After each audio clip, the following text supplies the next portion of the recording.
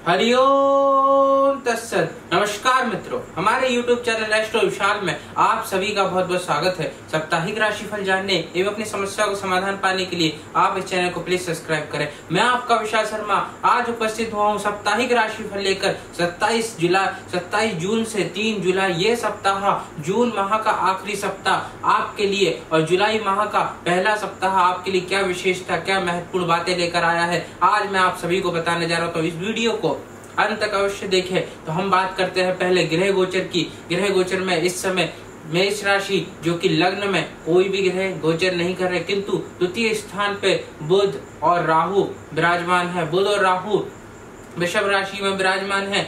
अष्टम भाव में केतु विराजमान है। दसम स्थान पे शनि में शनि विराजमान है। शनि की राशि पे शनि विराजमान है। और ग्यारहवें स्थान पे गुरुदेव देव गुरु वक्री हो चुके हैं कुंभ राशि में। और तीसरे स्थान पे सूर्य देव अपनी ही मित्र राशि में विराजमान है। चतुर्थ स्थान पे बुध, शुक्र। बुध शुक्र और मंगल दोनों ही विराजमान है। मंगल अपनी ही नीच राशि में कर्क का नीच राशि में चतुर्थ स्थान पे उपस्थित है और शुक्र भी उसके साथ उपस्थित है। अब इन सभी ग्रहों का क्या राशि फल है? क्या क्या ये ग्रह गोचर अनुसार क्या फल देंगे? मैं आप सभी को बताने जा रहा हूँ। तो मेष राशि का ये सप्ताह कैसा जाएगा? ये सभी मैं आपको बताने जा रहा हूँ। मेष राशि वालों के लिए ये समय आत्मविश्वास से, ये सप्ताह आत्मविश्वास से भरा पूरा रहेगा। जो मन में एक जो डर था, एक भय था, वो पूर्ण रूप से समाप्त होगा। इस समय आपको सबसे अधिक धन लाभ होगा। इस समय समय सबसे अधिक आपको लाभ होगा और धन लाभ भी होगा।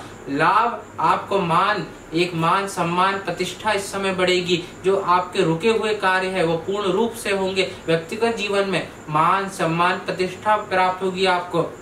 अगर आप राजनीतिक पक्ष है, राजनीतिक क्षेत्र में है तो आपको मान, सम्मान प्रतिष्ठा प्राप्त होगी। अगर आप राजनीतिक क्षेत्र में नहीं है तो आपको गवर्नमेंट संबंधित कोई राजनीतिक सम्मान आपको प्राप्त होगा। गवर्नमेंट से आपको राजनीतिक सम्मान प्राप्त होगा और आपको थोड़ा सा इस समय खर्च पे अंकुश लगाने की आवश्यकता है, क्योंकि थोड़ा सा इस सप्ताह आपका खर्च निरंतर बढ़ जाएगा। उसलिए आपको थोड़ा सा खर्च पे नियंत्रण रखने की आवश्यकता है। इस समय भाग्य के लिए ये सप्ताह सत्ताईस जून से तीन जुलाई इस समय भाग्य की योजना है बनेगी। इस सप्ताह आपके जो रुके हुए कार्य है, वो पूर्ण रूप से होंगे। जो आपके मन में एक अशांति चल रही थी, जो मन में एक आत्मविश्वास कमी आ गई थी, जो कार्य आप अधिक समय से करना चाह रहे थे, किंतु वो कार्य नहीं हो पा रहा था। वो इस समय आपका वो कार्य इस सप्ताह पूर्ण रूप से होगा। इस समय आपको सबसे अधिक धन लाभ होगा, किंतु देव गुरु बृहस्पति शनि में वक्री हुए हैं। इस कारणवश जो आपको धन लाभ इस समय प्राप्त होगा, वो जुआ, सट्टा, लॉटरी, शेयर मार्केट से आपको प्राप्त होगा। और एक और बात, बिज़नेस।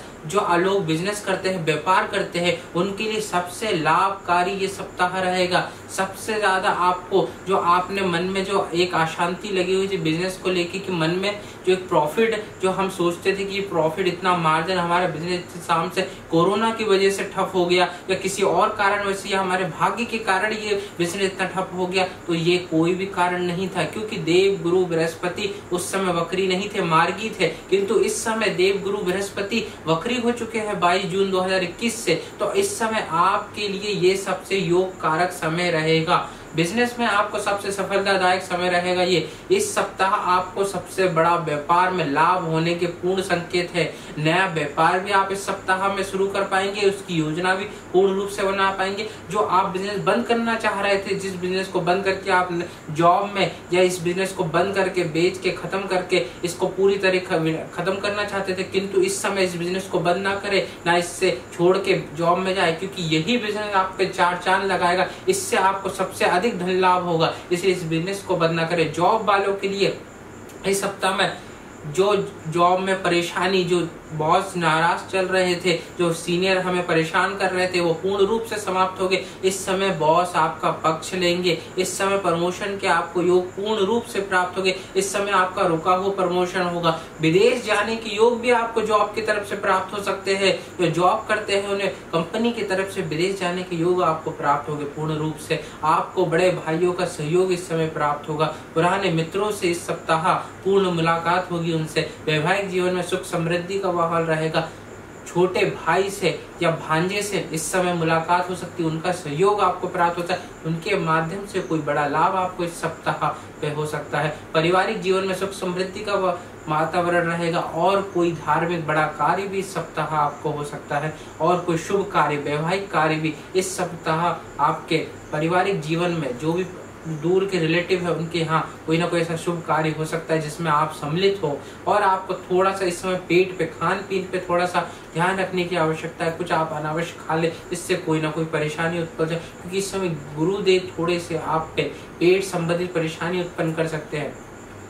और हमारे विद्या स्थान के लिए जो कॉलेज वाले लोग हैं, विद्यार्थी लोग हैं, उनके लिए थोड़ा सा निराशा निराशा कार्ड समय रहेगा, क्योंकि इस समय देव गुरु बृहस्पति ग्यारहवें स्थान से पंचम स्थान पे जो सिंह की राशि है, वहीं पर दृष्टि दे रहे हैं। इस कारणवश थोड़े से विद्यार्थियों के लिए कॉलेज लाइफ के लिए कॉलेज वाले लोग और विद्यार्थी स्कूल वाले, इन सब के लिए थोड़ी थोड़ी परेशानी का समय रहेगा। पढ़ाई में थोड़ी निराशा आपको प्राप्त हो सकती है। संतान संतान से थोड़ी सी चिंता कारक विषय कोई ना कोई निकल के सामने आ सकता है। किंतु जो संतान के लिए, जो भविष्य के लिए जो योजनाओं का विचार आप कर रहे थे, जो पूर्ण नहीं हो पा रहे थे वो इस सप्ताह उसका पूर्ण रूप से आप निर्णय लेंगे और उस योजना में आप आगे बढ़ेंगे, उस योजना को पूर्ण रूप से आप सफलतादायक बनाएँगे। तो जो प्रेम संबंध जिन लोगों के चल रहे हैं, उनके लिए, जिनके प्रेम संबंध चले, वो विवाह में परिवर्तन होने का ये समय आ चुका है। जिनके अविवाहित लोग हैं, उनके विवाह का समय आ चुका है। विवाह की इस सप्ताह आपके पूर्ण रूप से योजनाएँ बनेगी और जो प्रेमी प्रेमिका है, उनके विवाह के संबंध में इस सप्ताह बात चलेगी। और जो अविवाहित लोग हैं, उनके संबंधों की बात चलेगी। कई बार इनके संबंध चलते चलते मेष राशि वालों के संबंध चलते चलते लड़की वालों की तरफ़ से या लड़के वालों की तरफ़ से बात चलते चलते जो खत्म हो जाती थी, वो इस सप्ताह आपका कुछ ना कुछ ऐसी कोई ना कोई ऐसा आपके पारिवारिक जीवन में ही वो संबंध लेके आएगा और उस संबंध को अंत तक पहुंचाएगा। जहाँ पहले संबंध चल चुके हैं, वहीं से इस समय आपको रिश्ता प्राप्त होगा। और इस समय ससुराल पक्ष आपको पूर्ण सहयोग आपको प्राप्त कराएगा। जो मेहनत परिश्रम आपने अधिक समय से किया हुआ है, इसका फल आपको प्राप्त नहीं हुआ उसका फल आपको प्राप्त होगा। मानसिक शांति बनेगी, सुख समृद्धि का वातावरण रहेगा। पारिवारिक जीवन में इस समय समय व्यतीत करेंगे माता पिता के साथ इस समय समय व्यतीत करेंगे। किंतु थोड़ा सा पिता के स्वास्थ्य में थोड़ा चिंताकारक विषय बन सकता है। सिर्फ़ और सिर्फ़ 28 जून तक।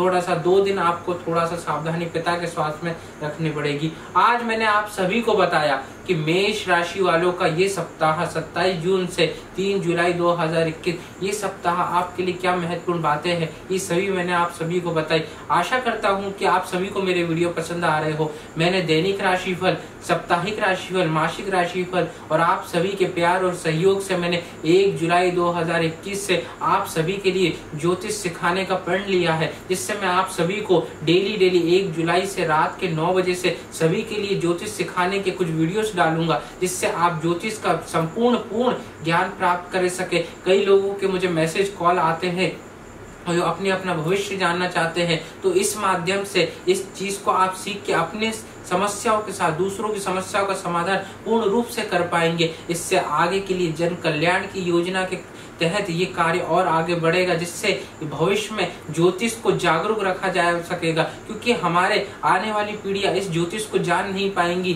क्योंकि आगे जाके ये ज्योतिष विलुप्त तो होते जा रहा है। कई लोग इस ज्योतिष को भूलते जा रहे हैं और कई लोगों की वजह से ये ज्योतिष अंधविश्वास का केंद्र बन रहा है। किंतु ज्योतिष एक मार्गदर्शन का केंद्र है, एक स्वच्छता का केंद्र है। उसमें कोई भी ऐसा आप व्यवहार नहीं करना चाहिए। जो लोग कई लोगों के पास जाते हैं, उनके पास ज्ञान नहीं होता है, थोड़ा ज्ञान होता है थोड़ा सा ज्ञान तो उस ज्ञान के आधार पर बताते। वो गलत नहीं बताते, पर उनसे गलत निकल जाता है। इसी कारणवश वो ज्योतिष के प्रति कई लोगों को डर बैठ जाता है और कई लोगों का विश्वास खत्म हो जाता है। वही विश्वास को जगाने के लिए गुरुदेव की आज्ञा अनुसार एक जुलाई 2021 से आप सभी के लिए ज्योतिष सिखाने के वीडियोस में ला रहा हूँ। तो उस वीडियो को आप अवश्य देखें और ज्योतिष को सीखे और समझे और जाने, क्योंकि ज्योतिष बताने वाला एक इंसान सामान्य व्यक्ति नहीं होता।